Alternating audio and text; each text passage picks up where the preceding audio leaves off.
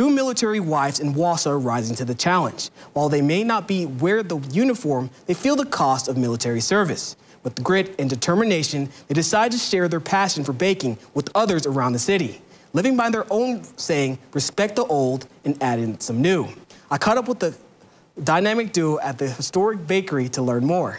Another day, another shortcake.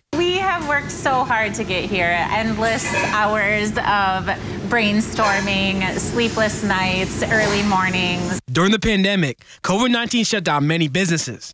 But for Hannah Reyes and Kathleen Riegelman, they wanted to take a chance. We dreamed up a dream together of opening a bakery. That dream became a reality in March 2021 with a bakery called Cup and Cake. We kind of grew that business quickly and had bigger ideas that we wanted to incorporate and realized that the space we were working in just wasn't going to function well for us. Six months later, everything changed.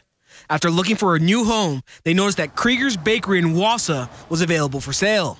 And I think we kind of looked at each other and were like, whoa, that's a dumb idea, but maybe we should do it. This isn't your average bakery, though. It's actually the oldest one in Wausau. Kathleen says that added some pressure. To take over a business that's existed and has been established for 60 years and run by the same people. So, a clientele that's established, but might not want change. And what we want to do in Wausau is shake things up and do something different and bring something big. Since taking over the business, the new owners have added new baked goods while keeping some favorites.